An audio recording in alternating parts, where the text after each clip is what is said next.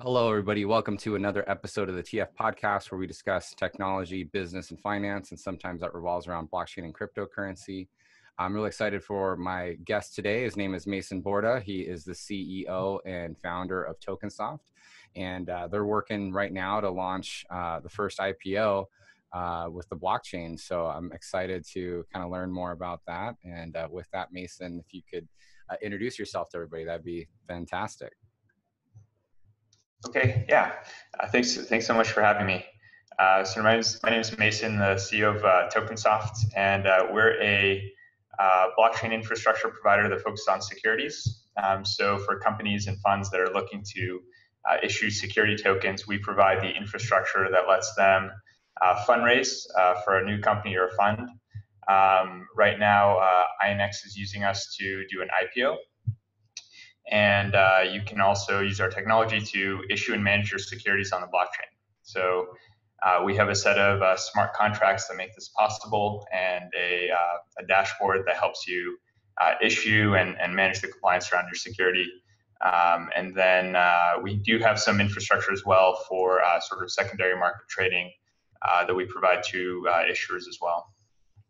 Yeah, I love to just kind of differentiate there too, because you know often we hear blockchain, crypto, ICO, right? Initial coin offering. That's not what you're doing here. You're doing an IPO, right? And so, um, you know, I love kind of where did um, where did that kind of thought come through? Is like, hey, like let's not do this the coin offering thing. Let's actually do a regulated security, you know, offering um, the way it's done essentially on Wall Street uh, but using the blockchain. Yeah.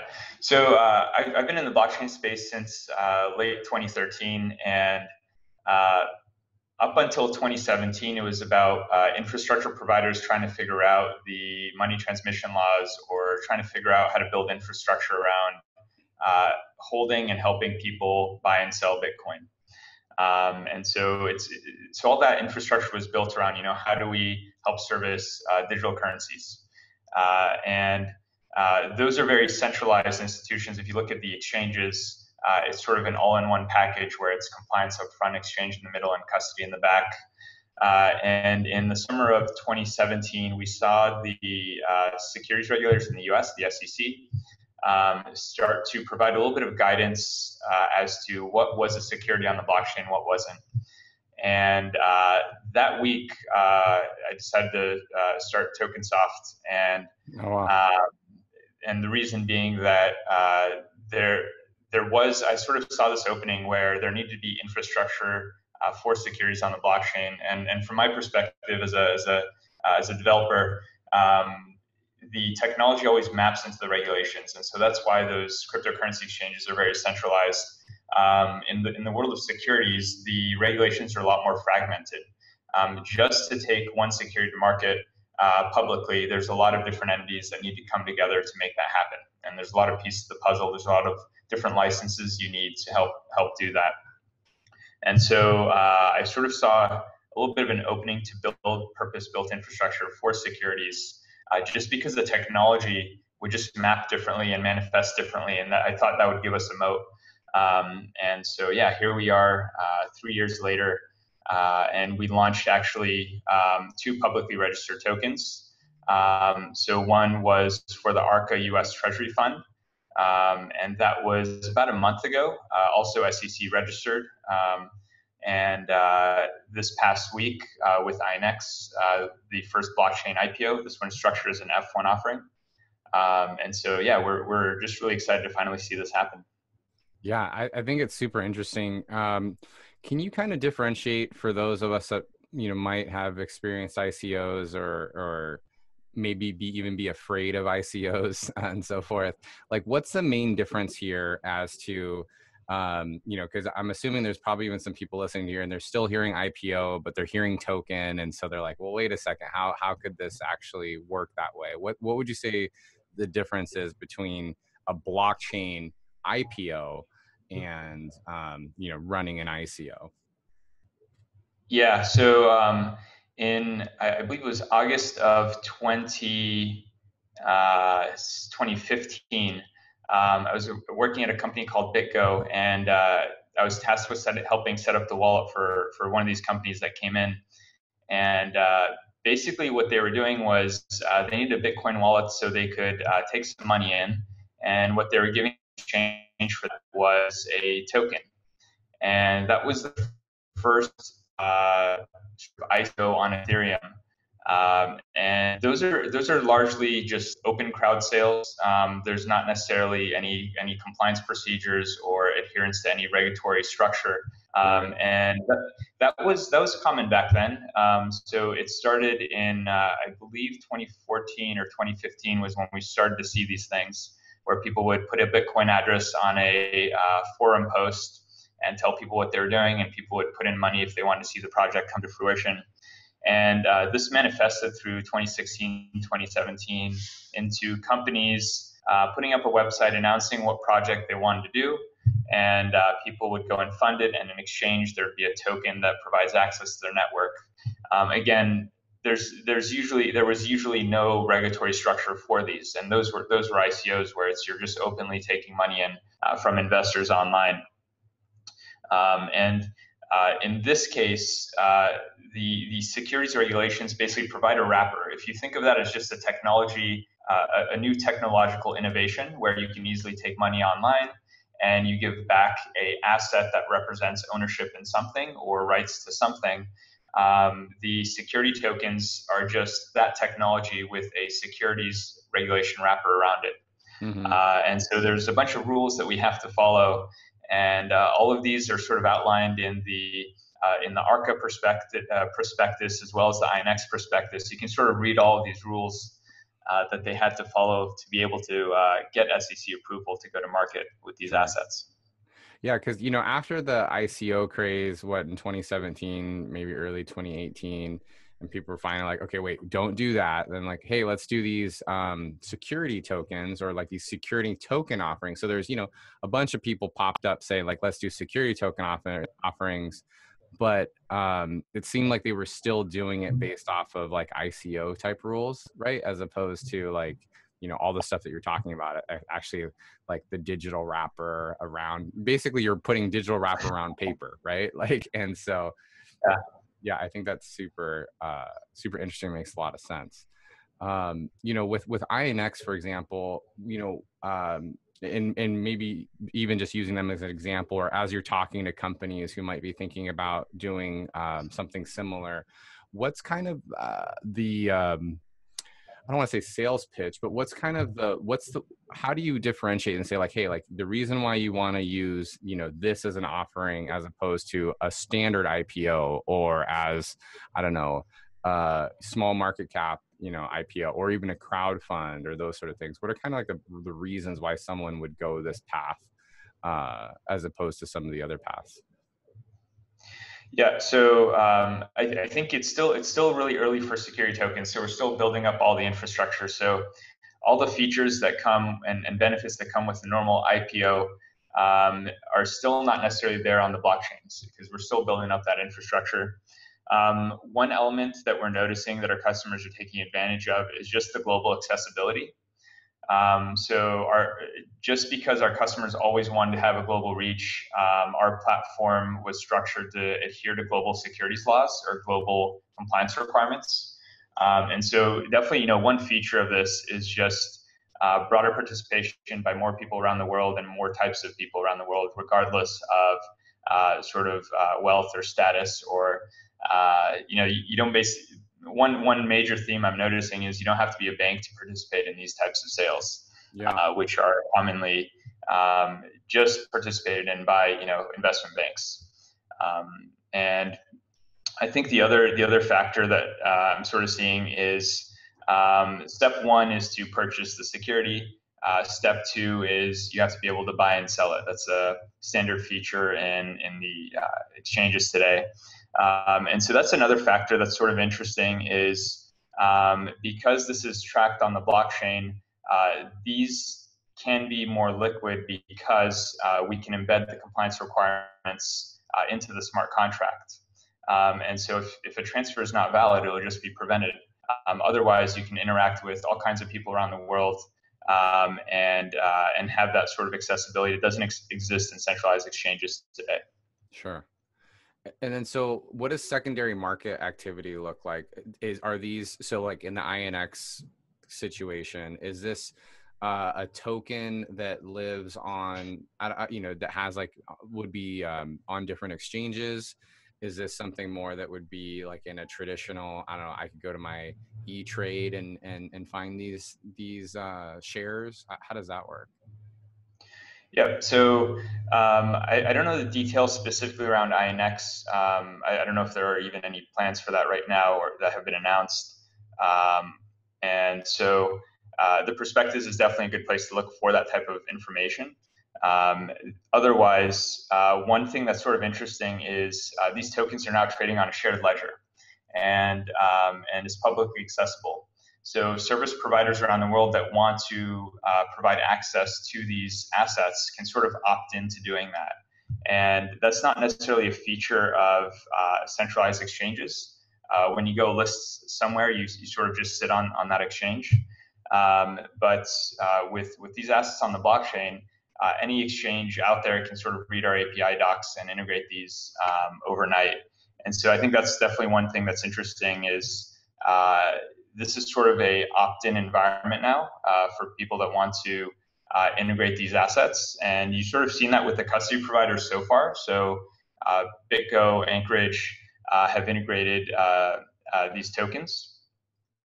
Um, but for the exchanges, I think that might be further downstream. Um, and once these tokens are actually um, subscribed to and, and distributed out there, then you'll probably see a little bit more activity on exchanges. But right now they're they're not necessarily on exchanges uh, yet, just because it's still early.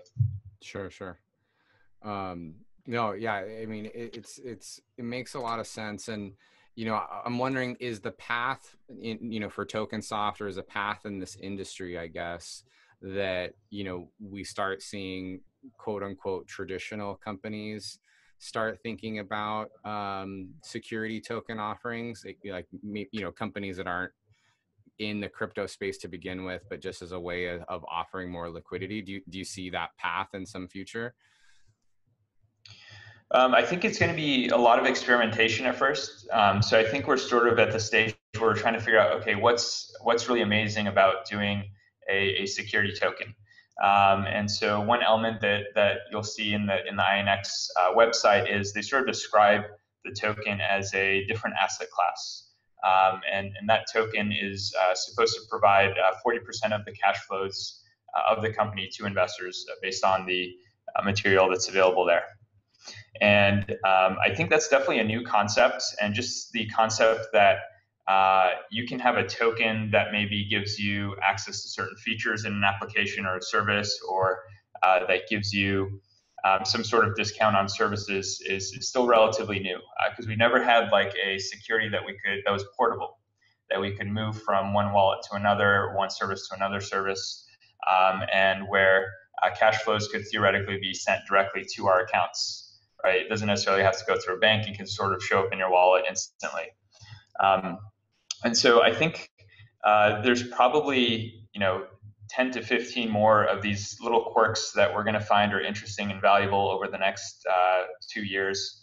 And I think um, as awareness of these types of assets sort of uh, increases, um, I do think that more and more people will try to adopt it just because it's it's new, it's different. We don't know what's super valuable about it yet. Hopefully, INX will show us, um, and uh, and we'll see a lot more of these on on the on the blockchain. Yeah, yeah, definitely. Now, um, with something like this, um, do, do the same rules apply that we hear in crypto often? You know, like not your keys, not your wallet. Uh, you know, if if you were, um, excuse me, if you were storing uh, these tokens on a wallet and you know you lost your keys, are they are they gone forever? it's a that's a really good question. Um, and that's something that, uh, that, was actually a question we also got from the from the SEC that we had to uh, sort of package a solution for. And um, so so we so for the tokens that we put out there, we use a standard called ERC 1404, um, and it's called the Simple Restricted Token Standard, and it has a it has a set of features. And so uh, the, the main feature of the standard is that um, you can now uh, have different uh, lists of, of token holders, and you can basically prevent transfers from one person to another person if it's unauthorized or if it's not a legal transaction. Um, and so that's sort of the base feature of, of our tokens. And then we've layered a bunch of other features on top of it. And so uh, the ability to uh, uh, freeze a token, I'll explain why. The ability to freeze a token, uh, the ability to revoke a token and reassign it somewhere else. And so as we were trying to uh, put these tokens out there in the world and make sure they follow the securities laws, um, it, it, turned out that we needed a regulatory structure around this token as well for, for companies like INX that are SEC registered. Sure. And so uh, we set up a transfer agent. And so the transfer agent is a service that uh, you, you as an investor can go to um, if you lose your wallet. Um, and if you lose your wallet, you go to the TokenSoft transfer agent, uh, you contact them, and you say, I lost my wallet. And There's a procedure around getting your tokens into a new wallet that involves those features the ability to freeze a token so you can investigate, uh, the ability to revoke a token so you can take it out of their old wallet and then reassign it to their new one. And so that was sort of a key piece of functionality that we had to figure out uh, just to make all this possible. Yeah, yeah, super interesting. Um, you know, I want to move the conversation more to the founder side of things, right? So, um, you know, as I'm sure you experience very much, uh, you know, being in crypto and blockchain, even as recently as a year ago, was a lot different than it is right this second, you know, today, right? It seems like there's more favorability now than there ever has been. But when I'm assuming when you're getting started and you're ta- talking to people or you know investors or so forth and you're telling me what you're doing i'm assuming you probably experienced quite a bit of resistance. I'd you know i'd love to kind of understand how how that went for you laughing so i'm assuming that's true. How, how, was that? And you know like when you come up with this idea and um, you know what would you kind of do? What was that path?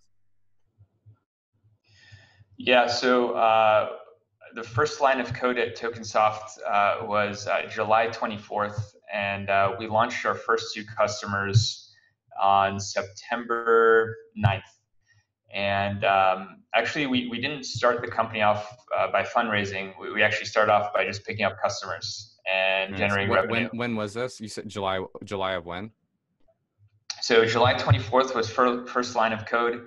Uh, incorporation was September 6th, and then first two customers were uh, launched on the same day on September 9th. Which sorry, but of what, of what year though? Sorry. 2017. 2017. Okay, cool. Yeah. Wow. Nice. And so you basically funded by customers. That's awesome. Yeah. So uh, we got about a year in, um, and uh, that's when. Uh, so I, I wanted to fundraise around December through through April, and it was just we're just so busy with like sales that it was sort of hard. It's it's I think it's impossible to focus on sales and, and fundraising at the same time. Um, so uh, we kicked that off, and then it sort of uh, fell out of focus, and then we closed around uh, July of 2018 uh, for four million dollars, uh, led by Base 10 and E Ventures. Uh, and then we also had participation by Coinbase and Fidelity. Um, so uh, at that point, it was like the investors came to us. I, at that point, I wasn't actually, I didn't have fundraising on my mind anymore. Because you were, because um, you had the sales that you know people were starting to recognize you, basically, right? Yeah, and um, yeah, we started to develop a reputation. Um, I think we've always been good at, at actually delivering and, and, getting the job done, and so that that word sort of got around. So as investors were poking around the uh, security token space, that that was something that came to light and sort of led them led them to us. Nice, nice. But and, and so you said you were, you know, you you were initially started looking at mm-hmm. fundraising, you know, in that December period. Did you talk to traditional investors at first, or were you always focused on like blockchain and crypto investors?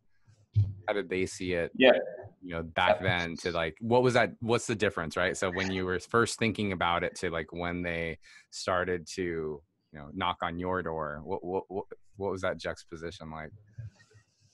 So my, my network was always just in the crypto space. So all of the like crypto investors and angel investors I, I, I knew.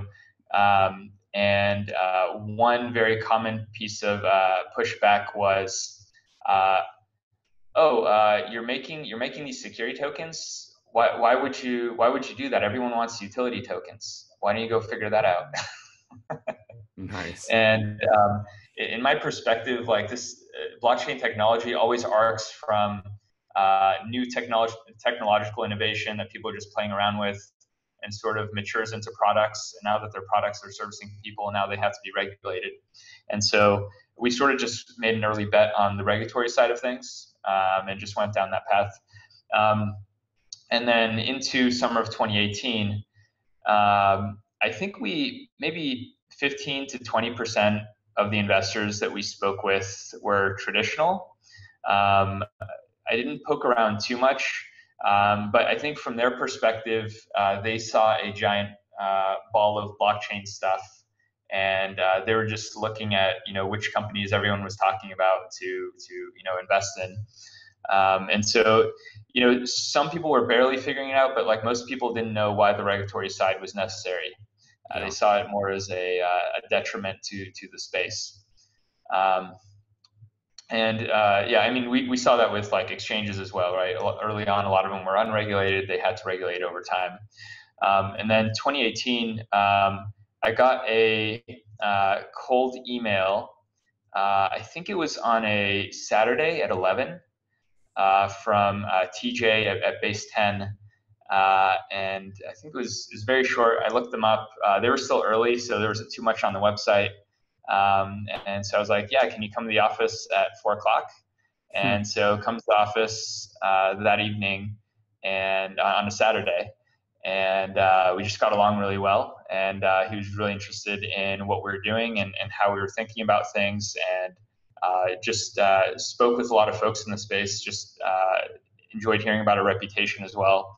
And um, then it just went from there. And um, we, we had a lot of investors that, that had committed early on just from conversations I had. Um, but yeah, base base 10 ventures ended up leading uh, that round. Nice, nice. That's awesome. That's awesome. Yeah, I always love to talk to uh, crypto founders about the fundraising, just because you know fundraising for any company uh, is usually pretty difficult. Um, you know, then fundraising for crypto, there's usually some interesting uh, stories there. Um, you know so kind of going along to um, you know what's happening right now in the world uh, in the finance world right so crypto for the most part like we talked about a moment ago it's it's the thought on it is a lot more positive than it probably has been in a while you know bitcoin in particular and and so forth and so um, you know the fact that you're also working on ipos and we see the stock market you know just rocket shipping everything seems to be rocket shipping right now um, even though the economy is in this weird position because of you know coronavirus and all this kind of stuff just what are your just overall thoughts on on the market and what's happening and um, you know what that means for some of these companies that might be thinking about you know ipoing and, and that sort of thing yeah, I think the uh, stock market has uh, consistently performed uh, since it feels like uh, think I think since April or May. I don't follow it too closely, um, but I, I, do think that the, uh, the the Fed does have a big role uh, in that, and that's that's something I I'm not a big fan of. So I'm hoping that this IPO and all these assets being on the blockchain sort of sort of turns the tide um, from the, this traditional financial infrastructure, which uh, can be affected and, and, and tampered with um, into more trusted and transparent infrastructure on the blockchain.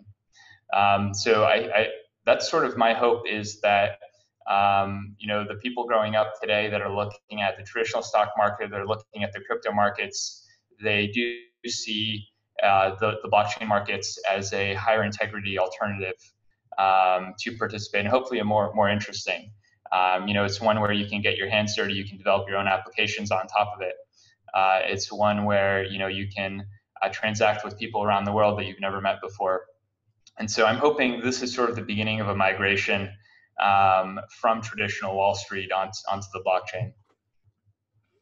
Yeah, that could be. Um, I, I, think there there's definitely definitely something there. Uh, you know, on that side uh, uh, of things, and um, you know it's it's it you start seeing like these big company you know i think it was fidelity earlier this week just launched a a, a fund um, I can't remember the name of the company off the top of my head right now, but that company that just put like, I think they bought $250 million worth of Bitcoin. Um, what's it, what's that company called? You know what I'm talking about? Oh, what's it called?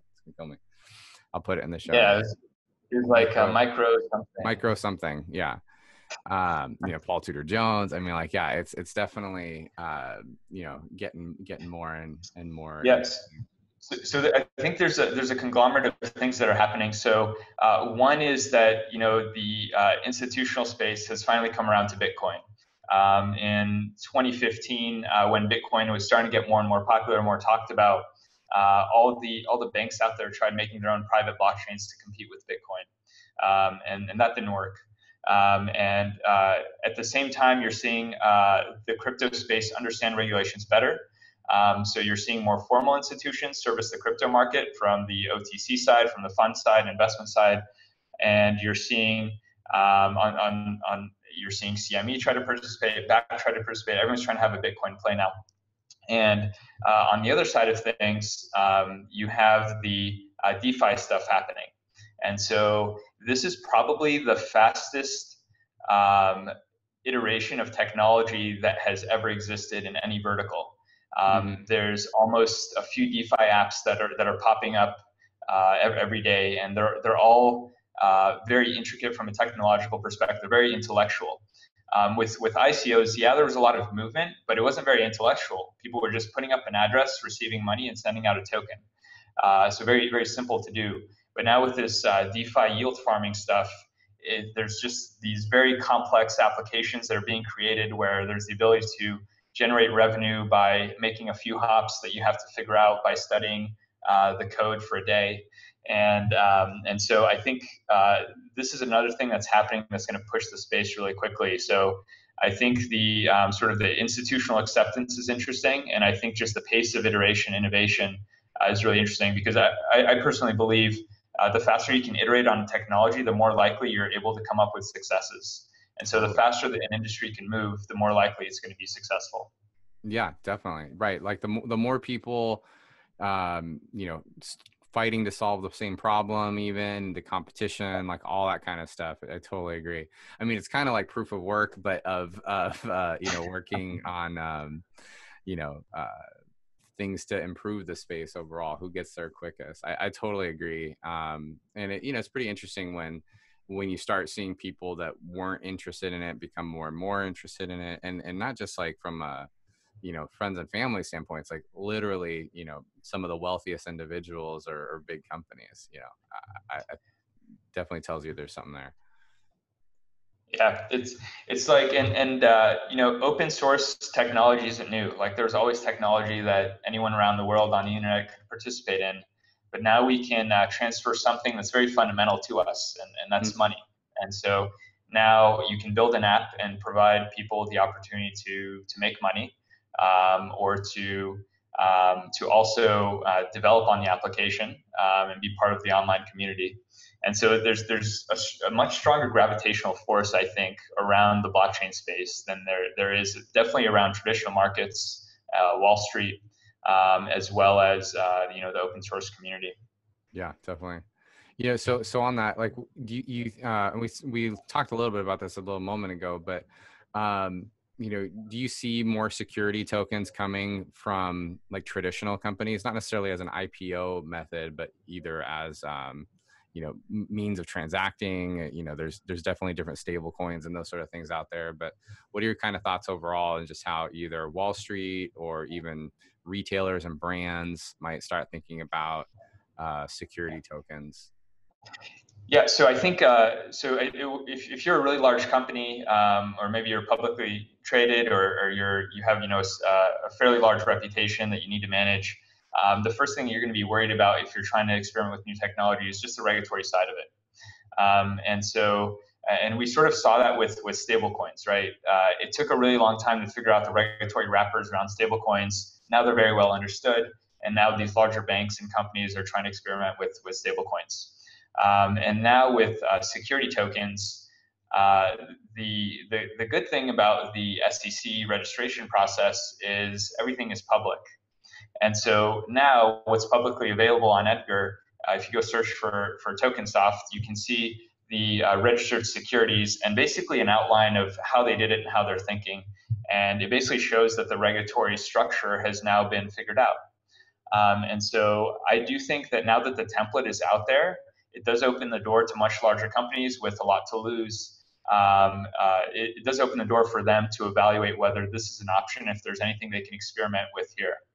Um, and so I think that's sort of uh, that door is now open, and I do think that we will see more and more companies poking around.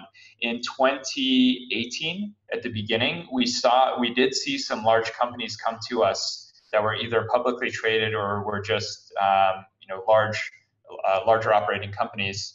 Um, and but back then they they came in, they came up with a formal plan, and they said, okay, we want to do this. And uh, when it came to the finish line, they didn't feel comfortable moving forward.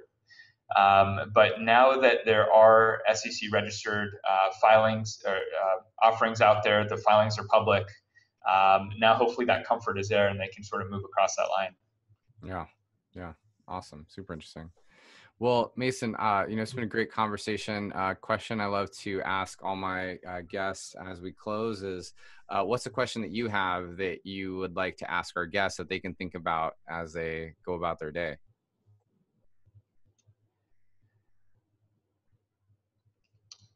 I would, uh, I would like them to think about whether they are uh, participating enough on crypto Twitter. Uh, because uh, there's just uh, there's a lot to learn and there's a lot to uh, to keep you busy there. And if you're interested in learning more about the crypto space and just interacting with folks in the space, I think that's that's a great place great place to do it. And I've, I've, definitely learned a lot from poking around there. Yeah, definitely. There's always uh, interest. It, it, there's definitely entertainment and and lessons at the same time.